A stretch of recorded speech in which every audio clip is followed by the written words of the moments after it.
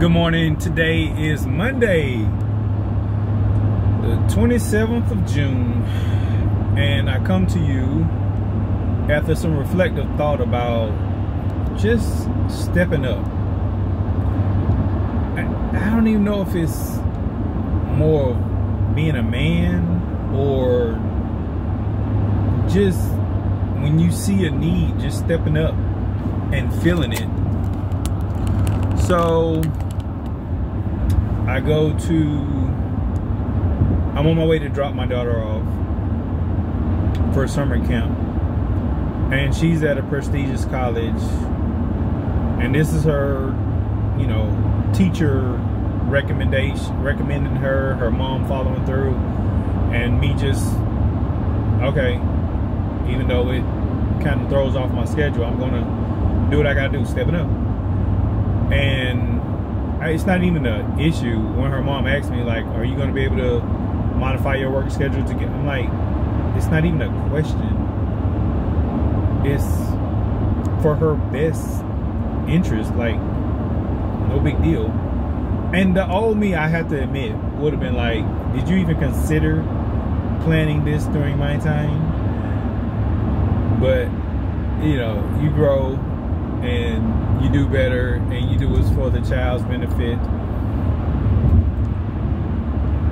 But the, that point, I really wasn't. That was the Holy Spirit drop in, but that was really not my major two points. So on my way there, I'm communicating with her mother, and um, well, her mother called to communicate with her on the way there to wish her well and whatnot. And I recognized that I did not, uh, I cannot remember the name of the the hall on which, I mean, I I kept thinking of, I mean, my daughter kept saying, you know, it looks like, the college looks like Harry Potter. And so all the British or English names were coming through, and I'm just like, it's not that name. So I asked her mom, like, what, what's the, uh, what's the, what's the name of the the building? I knew it started with a W, but I kept pronouncing it uh, something that it was not. And she tells me and goes through a whole spiel of, you know, well, I sent this to you, and I was like, I was just trying to get clarity while driving, and I you know, eventually sent a follow-up message saying, hey, you know, I, I did, and I have to give her credit. In the past, I have not been as much on follow-through as I am now. And I just said, hey, look, I, I stepped up. I did read the information and, you know, I just want to make sure that we're good and keep in the flow of co-parenting for her benefit and rebuilding the trust that was lost on my behalf on the times that I did not follow through. Because it doesn't take a lot to lose trust, especially when you're dealing with past mates and whatever those dynamics look like. So, moving forward, I was led by the Holy Spirit to reach out to another co-parent with whom we were not on speaking terms at all. And when I tell you God was like, no, you need to send this message or what have you. And I'm like, it's not going to be well received. Da, da, da. I'm giving every excuse to God of why I'm telling him I should not do what he, you know, is telling me to do. So this is for my son's mother and so I'm like, okay. So I send a message, and it's in the vein of, hey, look, I saw you at the grocery store and noticed you instantly looked away. And I have to say that I saw you living your dream.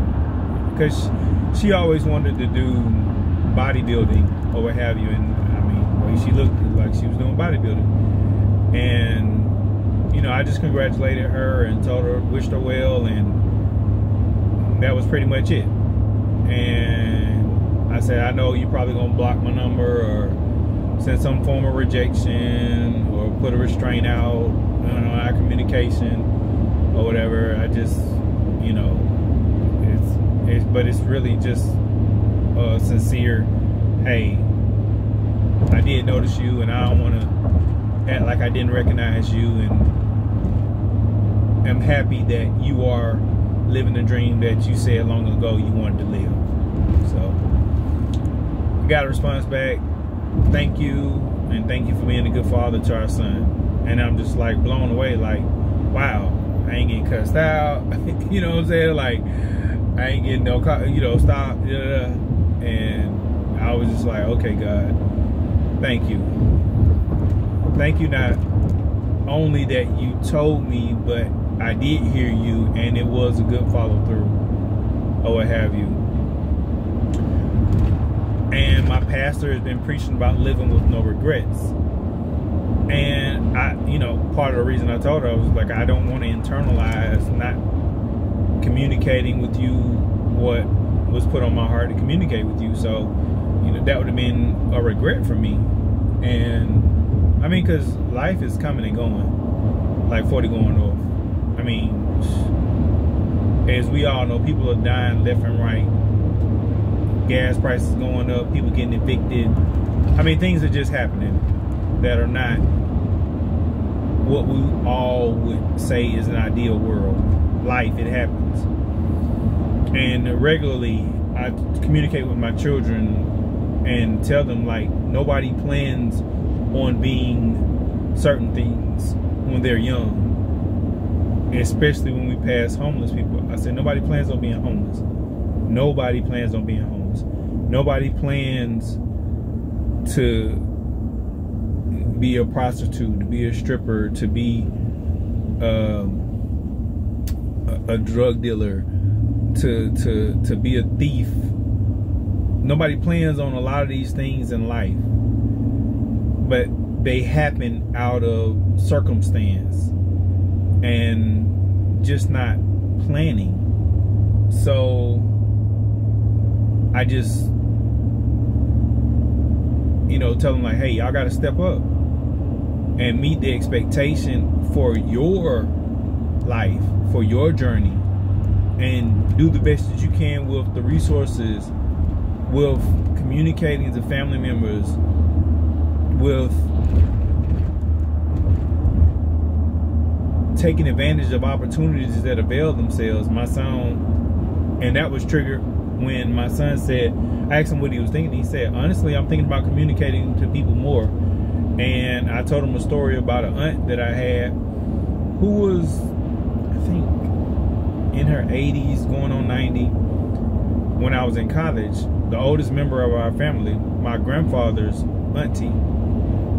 So, great great aunt. Any rate, I told him I was within walking distance from her house when I went to college, but I was so involved with what I was involved with while in college, whether it was chasing girls, being in a relationship, doing schoolwork, working valet parking, cutting grass, whatever it was, you know, just doing so much that I did not take time to just at least once a month go by there and say, hey, how you doing? Or at least call.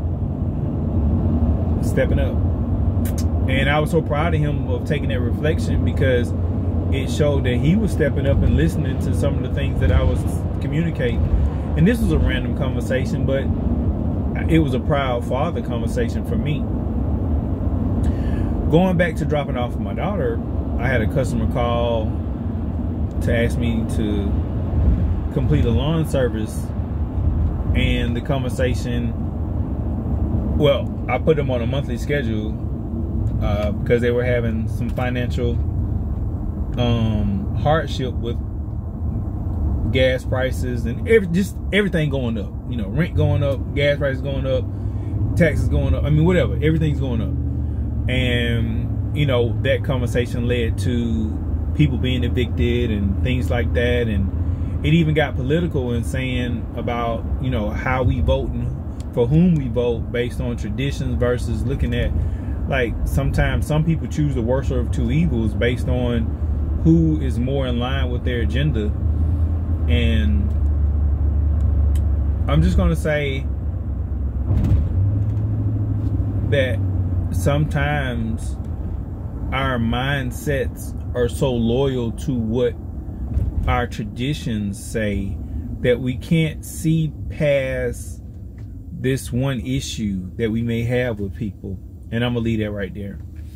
Whereas other people they they just they're the popular vote and we go for that. So